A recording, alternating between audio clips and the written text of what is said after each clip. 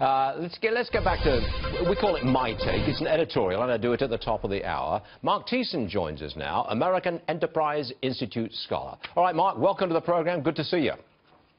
Good to see you, Stuart. I'm saying that the Democrats are stuck at this moment with old guard leadership, which is desperately trying to defend what amounts to policy failure. Am I going too far?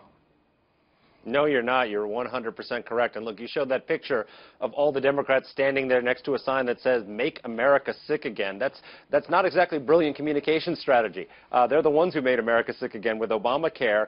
And the reality is, what Americans are sick of today is obstruction in Washington. There's a reason why they just gave the presidency, the House, and the Senate to the Republican Party because they want unified government. They want change. They don't want this, uh, the, the, the obstruction and, and, uh, and divided government that we've had for these years. So I I, I, you know, I think the Democrats and Chuck Schumer are making a terrible mistake in, in staking their ground on obstruction. They're going to obstruct uh, any changes to Obamacare. They're going to obstruct uh, Trump's uh, nominees for cabinet positions. They're going to obstruct the city. He's even threatening to obstruct the next Supreme Court justice. He doesn't even know who it is. At least the Republicans waited until they appointed Merrick Garland before they said they were going to stop him. Uh, he, uh, Trump hasn't even named his, his, Supreme Court nominee, and already Chuck Schumer is threatening this. So I think if they become the party of obstruction, uh, they're, going, they're not going to be learning the lesson of 2016. So why are they?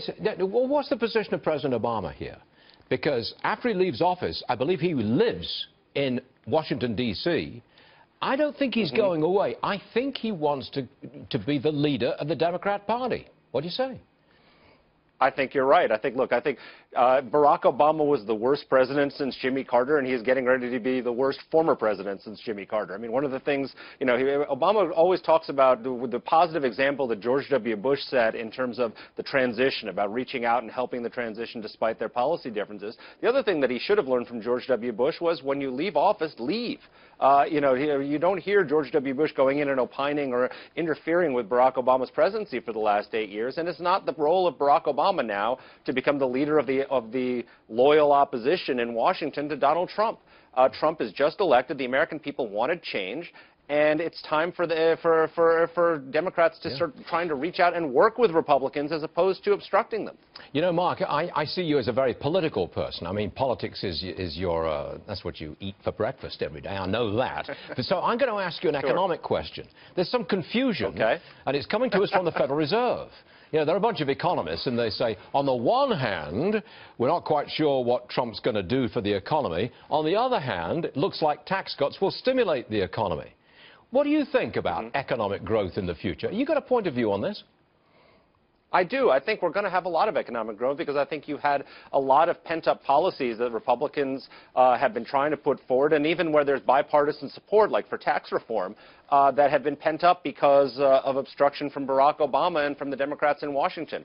Uh, and now I think you have a chance to have real tax reform that's going to bring, you know, billions, if not trillions of dollars of money offshore back into the United States. I think you're, uh, you know, and, and it's going to be paired in a bipartisan way with infrastructure reform, which is essentially Barack Obama's policy was spending hundreds of hundreds of billions of dollars on infrastructure, and uh, Trump supports it. So I think there's an opportunity for there to be some bipartisan support uh, for economic stimulus policies that will have some elements of the Democratic agenda, a lot of elements of Republican agenda that'll simplify the tax code and get the economy growing again. So I think there's lots of reason for optimism. You, say, you think Trump's off to a good start?